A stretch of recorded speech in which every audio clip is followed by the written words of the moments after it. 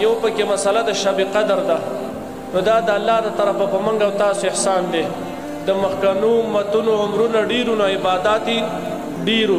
رسول الله مبارک په یو موقع باندې و فرمایل وای بین اسرائیلو کې یو سړی او زر میاشتې وای جهاد کړو او زر میاشتې پر لپسې د شپې قیام کړو او زر میاشتې پر لپسې روزه نیولې و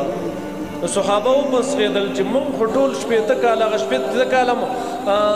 مونږ پښتانه خو ته معلومې که نه وایي دا هلکوالی ژوند دی دا شلو کالو دېرش تو کالو پورې نه دی دې کې مونږ مونږ نه وایي دا د هلکوالی ژوند دی او بیا اخر کې د شپېتو چې شي نو بیا بوډا شي بیا څه شي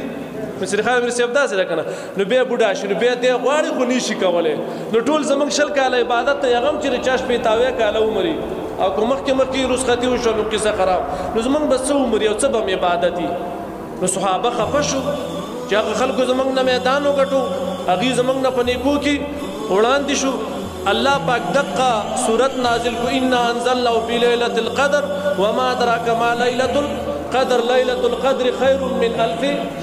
شهر مړه وو یوه شپه عبادت وکړه حاجي صاحب و یوه شپه عبادت وکړه د یوې شپې عبادت دا د درې اتیا کاله او د شپږو میاشتو نه سوا به د دې اجر وي او خیر یې ویلې خیر بهتر به څومره به بهتري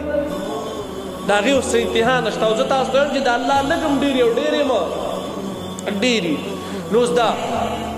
څومره بهترین عشره شو د غیبه یو شپه موږ د پاره څومره د ایربونو هغه ازینی سم یو د شب قدر هغه مسله ده الحمدلله زمون خلق دی بیدار دی یو خو اعتکاف ولا ناس دی هغه زمون غاړه خلاص کړي د شپه رڼې په جمعات کې سملګری مرضی هغه وسره یا ګنټه نیمه یا لک ساعت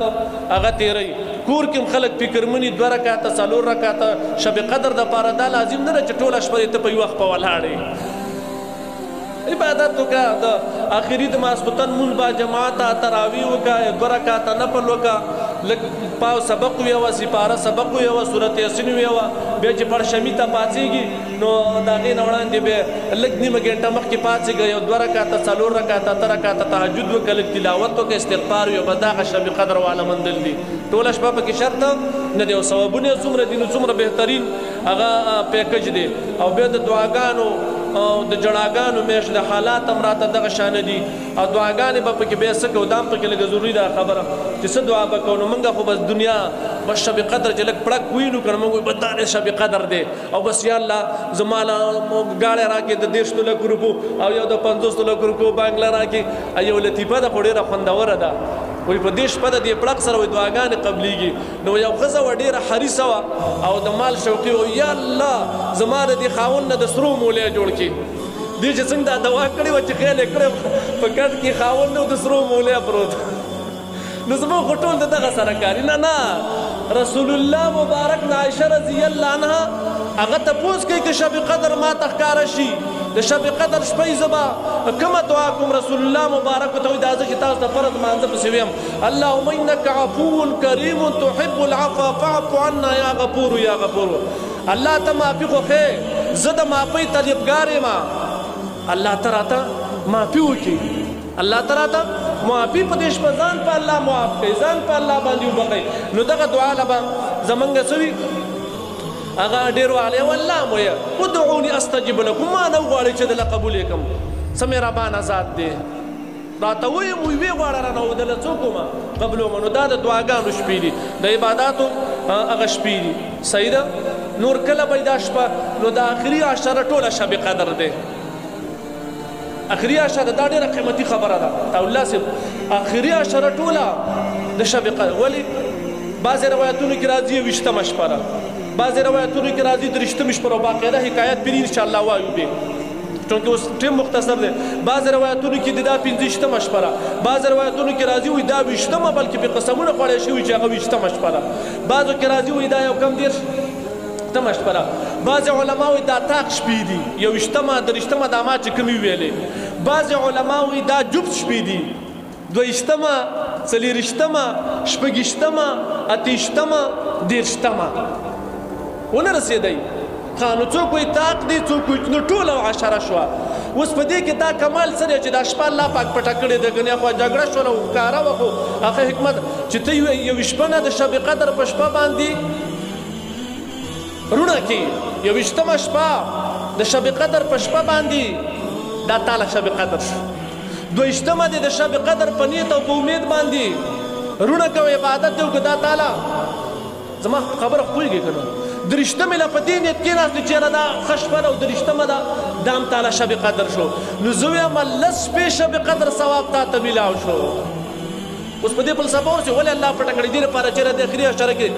دی ماته کینې مستقل او بل دا دی چې دا اعتکاف هم چې مسنون رسول الله مبارک ګرځولی دی او اهتمام یې کړی د دې شب قدر د التماس لپاره د دې د لټون لپاره د دې د لټون لپاره نو دا ټول شپې ان شاء الله شب قدر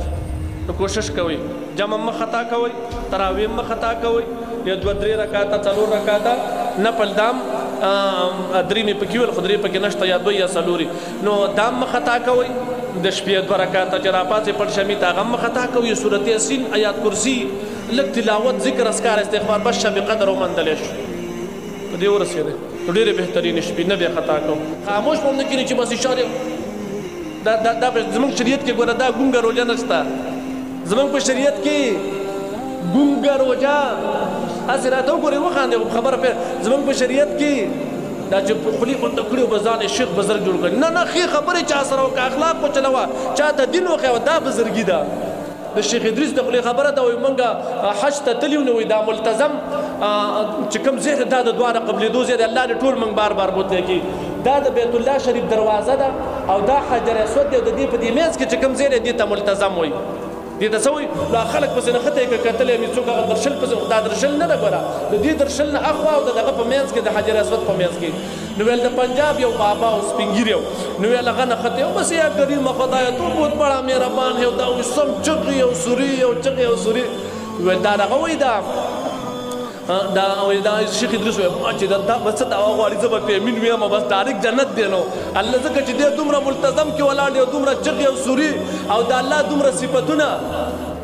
دوه دا خو به خامخا څه کیږي قبليږي خامخا قبليږي با لګ ویښ شي خامخا نو هغه څه ویل یا الله یا کریم ذات مجھے ایک نوجوان خوبصورت بیوی عطا فرما دے ویل ما چې اوس سم د تسړې ونه کړې په په څپېړو په سکونو دی وي ته دومره جړاګانې دی وکې والله له راغلی او ته دې خولې ته وګوره دا جرابه خولې دې نیولې دا خچن مخ دې نیولې ته دلته خوبصورت نو تا له خوبصورت جنې څوک درکوي ته د شپېته وویکه نو داسې سوالونه نه